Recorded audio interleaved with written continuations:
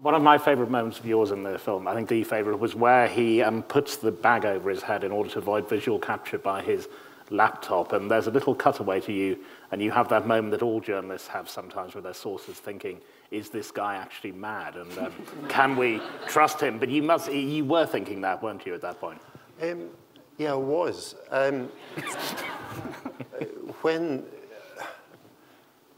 Snowden uh, was 29 when I saw him in Hong Kong. But as you can see from the screen, he looks about 21.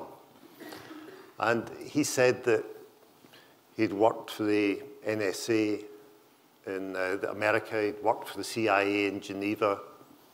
He said he'd worked for the NSA in uh, Japan, Hawaii.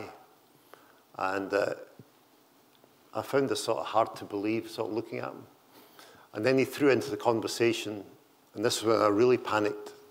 He trained with the Iraq, he, was, he wanted to go to Iraq, so he applied and joined the army and started training with the special forces.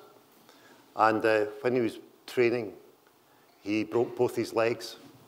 And at this point, I thought, this guy is complete Walter Mitty. so it was against this background, trying to establish if he was real or not.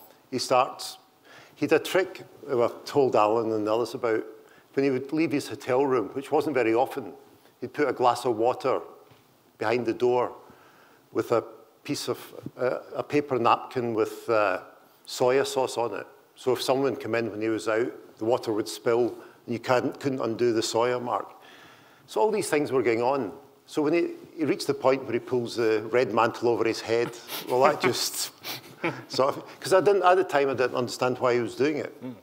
Uh, and later, I think I asked him why he was doing it. And he said it was possible there was a camera hidden in the room and they would have seen him putting his uh, uh, pass, password into uh, his computer or somebody could be filming from outside the window or uh, apparently just sort of listening to the chatter, you could pick up the, uh, the keys.